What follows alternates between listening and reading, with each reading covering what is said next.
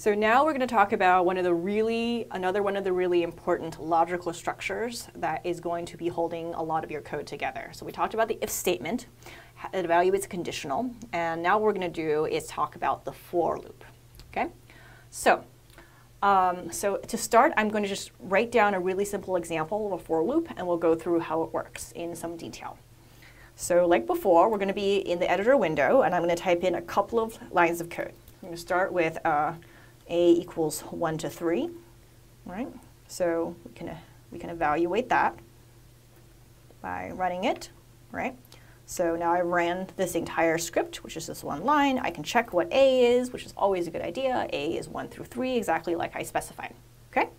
So now what I'm going to do is I'm going to say that I want to do something assuming that A is each of these values in turn, okay? So I'm going to do something where I'm going to say for a equals 1 to 3.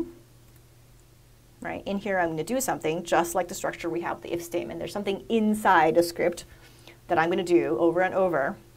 And it also needs an end, the end. Okay? So the thing that I'm going to do is that I'm just going to print out what A is. So here we go. We can display A. Okay? That's all I'm going to do. And uh, if I ran the script, here's what happens. Okay, so it came out too fast, but you can see in the command window, I ran the script, which is called intro2, right? And because A is this vector 1, 2, 3, right? What's going to happen is that it's going to go through it, assuming A is each of those values one at a time. So the first time it goes in, A equals 1. The second time it goes in, in the second in the second part, in the second time as it goes in the loop, a equals two, and this third time it goes in, it says a equals three. Okay, so this is sort of the the trivial case of a for loop where we're just going in and counting, right? We're saying a equals one through three, and then I'm just going to count what is a right now, right? But what we can do is do something to that a right? Let's say we can square it. So let's say that every time we go into the loop, where a takes on the values of 1 and then 2 and then 3 in turns, we go into this loop three times, I'm going to print out instead the square of a. Okay, let's run that, and let's see what the output is. So the first time I went into the loop, so here's uh, where the script got run, right? The first time I went in, a equals 1, so a squared is 1. The second time I went in, a equals 2, so the square of a is 4. And the third time I went in, a equals 3. So the square of a is now 9. Okay? Does that make sense? Um, and so armed with this knowledge, I can now do some computations. So, so far all we've done is go in and do something one at a time. This is sort of relatively independent, right? Every time we go into the for loop, we're just doing something totally different. And all we're doing is doing it three times and counting where we are. But we can do something that, um, that would keep track of the information from the previous loop. So let's say that I want to uh, write some kind of a, a sum function. I want to know the sum of all the numbers between 1 and 3. Okay? So what I'm going to do is name another variable that I'm going to call my sum, and I'm going to put this before the for loop, right? Remember, everything's very, very linear. All of these lines gets executed one at a time in turn. So on line one, I'm going to initialize and make a variable that's going to have the elements 1, 2, and 3. And on this line, I'm going to initialize another variable. It's going to be called my sum, and it's going to have a value of 0, and it's going to sit there with a value of 0. And then next, I'm going to execute the for loop, right? So in the for loop, what I'm going to do is update the value of my sum, and it's going to equal my sum, the new value of my sum is going to equal whatever the previous value of my sum is plus A. Okay? I'm going to save that, and uh, I'm going to execute it. I didn't ask for any kind of output, and so nothing happened by itself. But now I can check on the, the current value of my sum after executing the script, which I just did.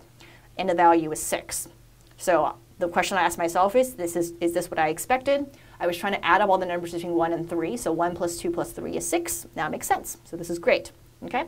So a tool for kind of keeping track of this information, especially when these loops get more convoluted and get more complicated, where we're going to put if statements in there and stuff like that, is that you can always think about it as the variables having some kind of physical existence inside the memory of the computer. And as we're going through the code in this very linear way, things are being updated one at a time, okay?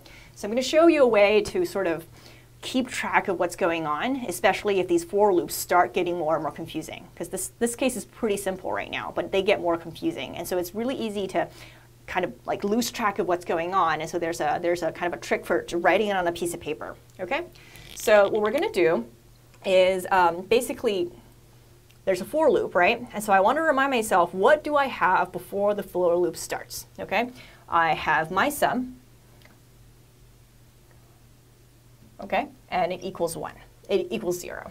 And so actually what I'm going to do is draw a box for my sum, which is this is actually a location in memory, and it's called my sum, and it has a value of zero inside, okay? So next what I'm going to do is go through the loop, right? And so the loop, I'm going to change the value of a, because that's the variable I'm changing in the for loop, okay? So I'm going to make a chart here, and I know that a is going to be changing, okay? And I also know that something, I'm going to write down all the other variables that are relevant inside this loop. And so the variable that's relevant right now is my sum. Okay? And there's nothing else happening in this loop, so I think i am keeping track of everything I need to right now. So I'm going to go through one at a time, okay? So I'm here in line 3. I have my sum being 0. Next, I'm going to go into the for loop, and the first thing that happens is that a gets assigned the value of the first of that vector, which is 1, right? So a equals 1 right? I go inside and execute this line here. My sum equals my sum plus a. Okay? So I want to evaluate the thing that's on the right-hand side of the equation, right?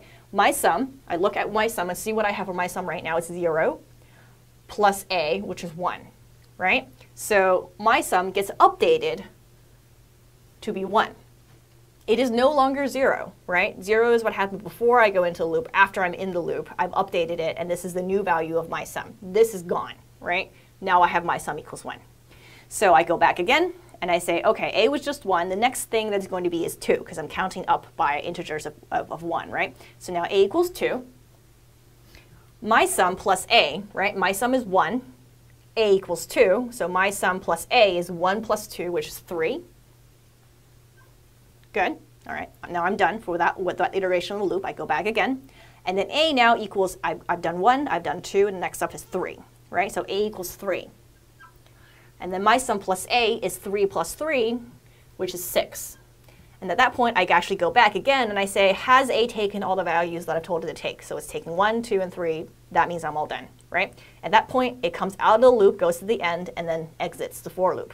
And at that point, I can then re-examine what all of my values are. So this is the end of what happens, right? None of this stuff exists anymore. I don't know what 8 used to be. I don't know what one sum, my sum used to be. I don't know the value of, um, the computer no longer has a track record of what my sum had been assigned to be before you enter the loop. All I have is what's down here. This is what's in the memory now. So let's double check that that's what's happened. My understanding is correct, right? So I say, what is A? A is 3, exactly like I traced on the board. And what is my sum? And my sum is 6, exactly like I traced on the board. Okay, so these things no longer exist. This is no, not real anymore. After I've gone through the loop, everything's been updated, and this is what the computer now has in its memory of the values of a and my sum. So that's how you do a very, very simple for loop.